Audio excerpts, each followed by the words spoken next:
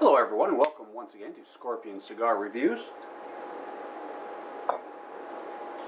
Today, I will be reviewing the Alec Bradley American uh, Classic Series, the Sun Grown. This is a Toro size cigar. This is uh, this month's, uh, September, um, Cigar of the Month at Milan Tobacconists in Roanoke, Virginia. They're running a special on it. The regular retail price on this is $5.50. Um, it was marked down to, I believe, $4.70, I think was the price, before tax, title, license fee, import, uh, you know, yada, yada, yada. By that time, it was closer to $6 again. But anyway, uh, it is what it is. Can't do anything about government taxes, I guess. Uh, I'll be pairing today's cigar with a favorite libation of mine, Elijah Craig, small batch, 12 year old. Kentucky Straight Bourbon Whiskey, 94 proof. I've already poured myself a little dram. I'm familiar with this bourbon. I'm going to go ahead and put in Ralphie recommended Universal Universal measuring. Oh boy, I haven't even had a drink yet. A teaspoon water. Give it a little swirl. Let's get this thing out of the cellophane.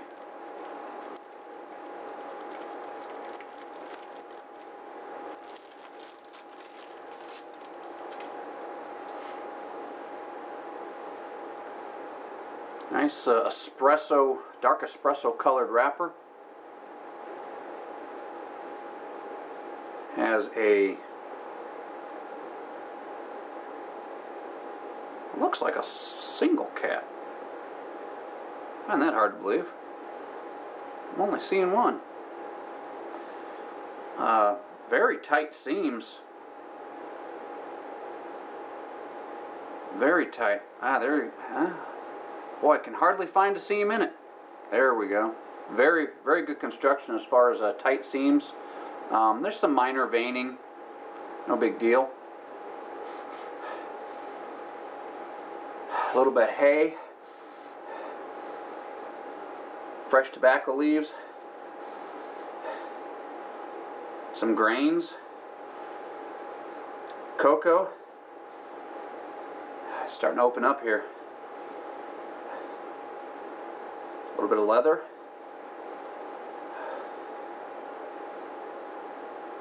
A lot going on. Something else in there. Okay, see what the foot has. More of the leather and some grain.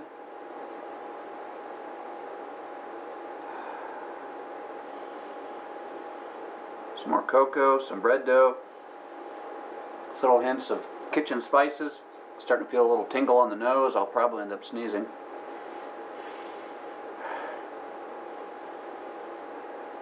Oh, off to a wonderful start. This, uh, just the nose alone on this is just absolutely fantastic. Firm pack. Ever so slight bit of sponginess, just as it should be. All right. See if I can do this without breaking my Glencairn glass. Glass. Oh God, I can't talk. My Glencairn glass.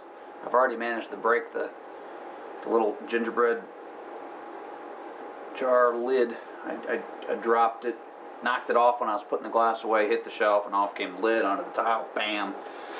Uh, glasses are expensive. They're a glass is like twenty dollars, and the lid was like I forget either two dollars or four dollars, but at least it wasn't the glass that broke. Um, I've got another set, but anyway, be using my trusty Xikar. Uh, man, what is this?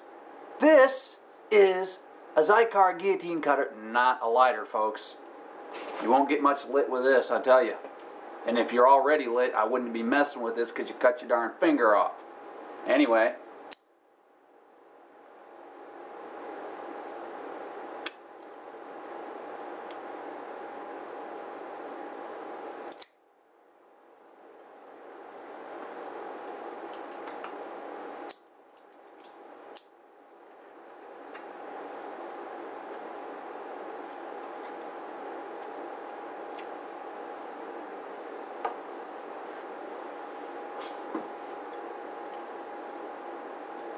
Draw.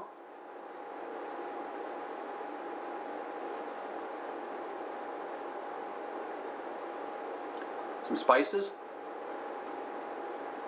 A little bit of hay, a little bit of leather.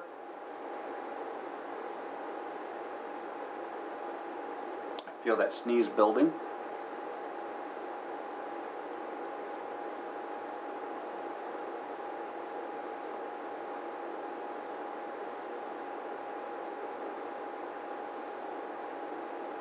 That's about all I'm getting out of the pre-light draw.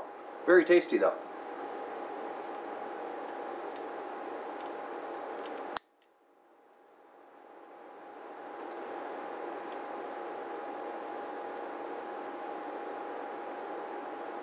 It's rather fitting. I believe this is an Alec Bradley lighter. Yes, it is. Alec Bradley lighter. I call this a teapot lighter. That's what I call it. Looks like a little miniature teapot. Actually a very nice lighter as long as there's no wind. It's very sensitive to the wind. I have a fan blowing, help keep me cool. Uh, with the, the lights on, shining right on me for the filming. Tend to get rather warm.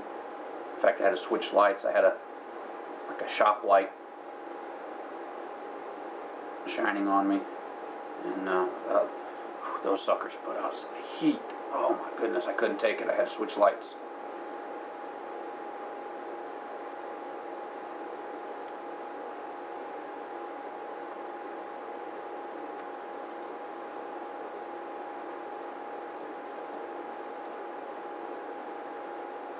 Here we go.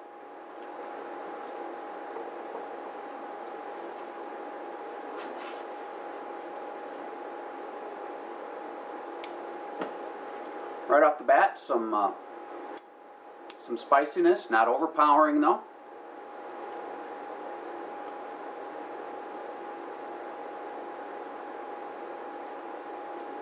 At the moment, that's all I'm getting. Smoke is a little bit dry.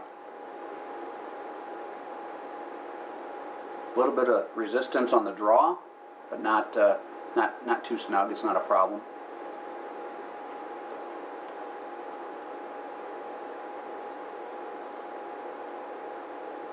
Has that typical sun-grown kind of a dark spiciness to it. Not you know not super strong. It's just reminds me of something dark, like the wrapper.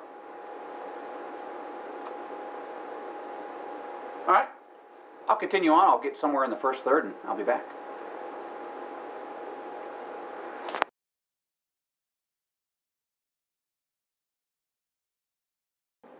Here we are about 15 minutes in burns a little bit uneven, but it's it's not too bad. It's starting to get a little bit of a curve to the ash. I'm going to go ahead and give it a slight tap just to see if it'll come off easily. Don't want to have to fight it. It came off. Alright.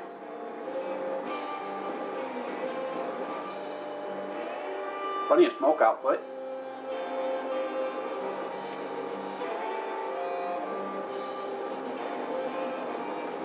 Seems to be getting a, a little bit snugger on the draw some coffee notes.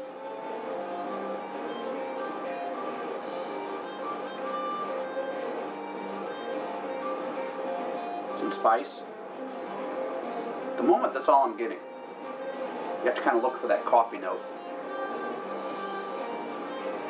Alright, I'll continue on. I'll come back somewhere in the second third.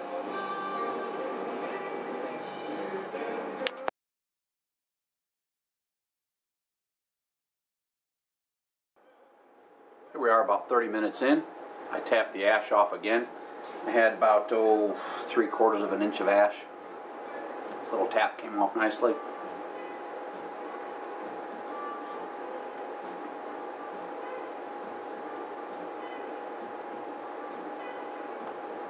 Picking up maybe um, some, I guess I'd call it a cereal note. Like a grain cereal.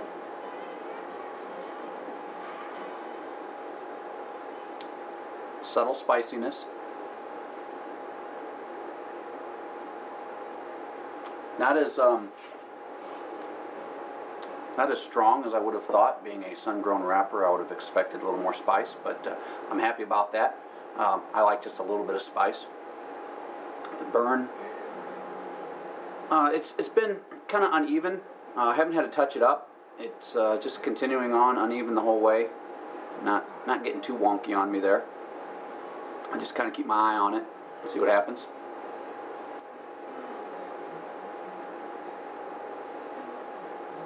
Smoke is still a little bit dry, but not terrible.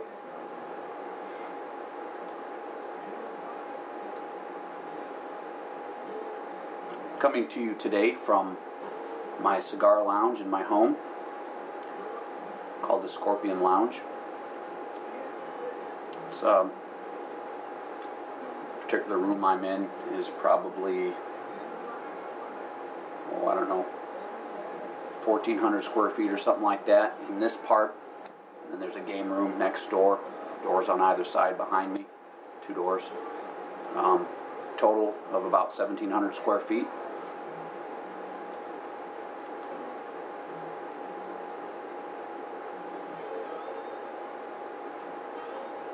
You may see in future reviews different angles in the room where I'm smoking.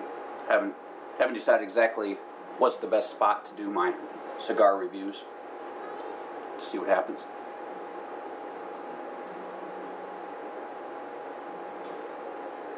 Subtle flavors in this cigar. They're pleasant.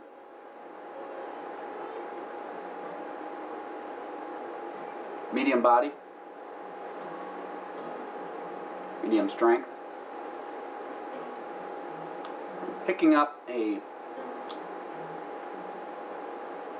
not not sure what that is. It's not really a sour note. And a little bit of sourness there. But not a citrus sour. Not a bad sour.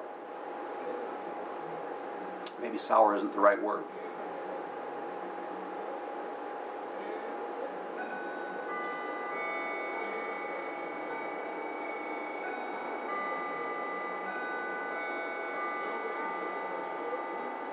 Sure what that is. I have to think about that.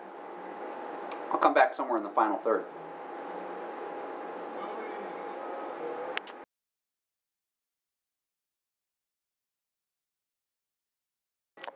Here we are about about 50 minutes in.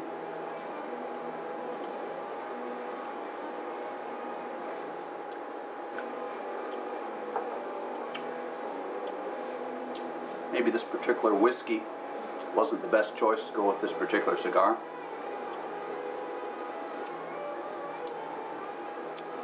Not a bad pairing, just they're not complementing each other quite as well as I had hoped.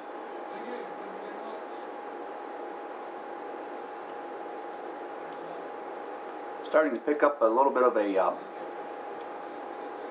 like a dry cedar note on the finish.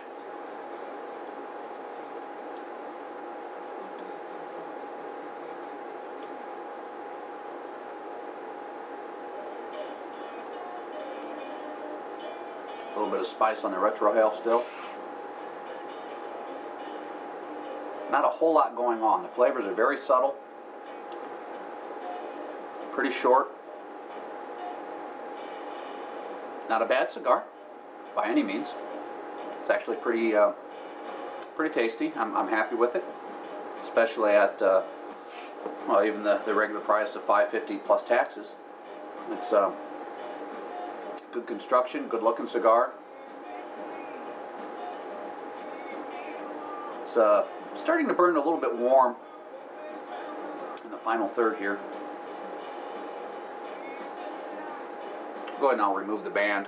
I can already tell it's it's not sticking to the wrapper leaf at all. It's it's loose. I can can move it around without it catching anything. Let's see here.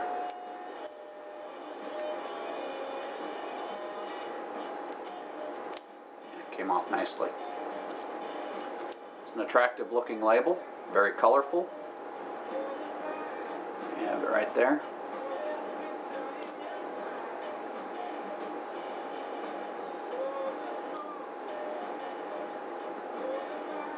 No excess glue left on the wrapper leaf. No damage to the wrapper leaf. Definitely some uh, some kitchen spices on the finish.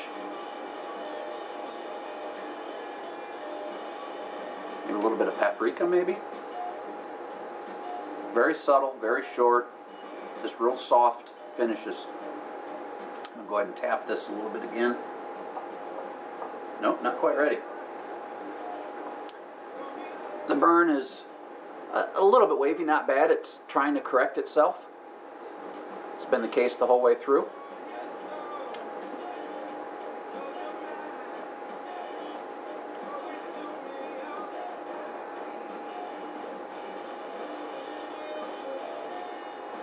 Said, not a whole lot going on.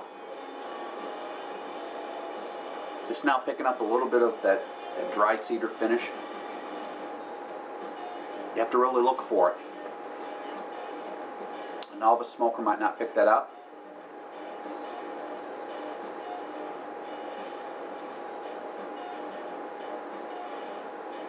Okay, I'll continue this on. I'll come back, uh, come back in the nub somewhere. See you in a bit.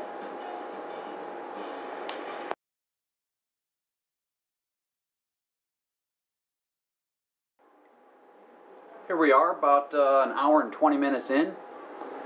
In the nub.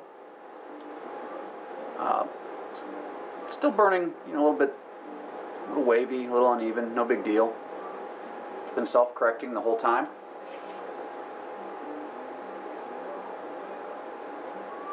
Not a whole lot of changes.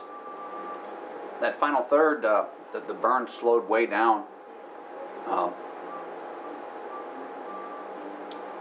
pleasant cigar. Definitely a good price point. I'll go ahead and end this review here, saying that the Alec Bradley Classic Series uh, American Sun Grown Toro has been a very pleasant cigar. Could recommend this cigar to really just about anybody. Medium body. Subtle flavors, but they are there. That's about it. So I thank you for once again watching Scorpion Cigar Reviews. Catch you next time.